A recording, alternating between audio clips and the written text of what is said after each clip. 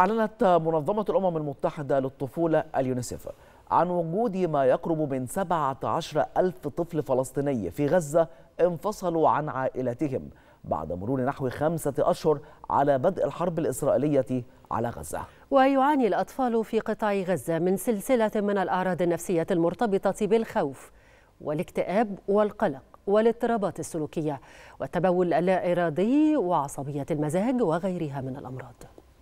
كانوا هنا يلعبون ويسعدون بطفولتهم. كنا هنا نرعاهم ونأمل لهم في حياة هانئة. وفجأة تغير كل شيء. في السابع من أكتوبر حكم الاحتلال الإسرائيلي على عائلاتنا بالموت والشتات. في غزة نازحون من غزة. هذا هو الوضع المؤسف الذي آل إليه آل شمال القطاع. بعد اضطرارهم للنزوح إلى الجنوب. ومن ظل منهم وبقى تقطعت به السبل عن باقي أفراد عائلته. أنا ما قدرت أروح يعني معاهم. فهم راحوا. قلنا الله يسهل عليهم يعني يمكن أمان لهم أكثر.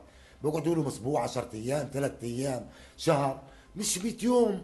خياران كلاهما مر إما النزوح أو الموت. فرضهما الاحتلال الإسرائيلي على أهالي شمال غزة ولم يترك لهم إلا ما هو أمر منهما وهو الشتات. أكثر من 135 يوما من الموت والدمار والآلام. مروا على أهالي غزة سنوات وسنوات وعلى العائلات المشتتة ظهرا. يعيشون الرعب كل لحظة خوفا على عائلاتهم. أول الحرب يعني صابرت على الجنوب والتواصل ضعيف ضعيف فوق ما تتخيل. يعني كل شهر أو كل 20 يوم لما يعني يلقط النت ويصير في إيش يعني في إرسال وفي تجاوب يعني.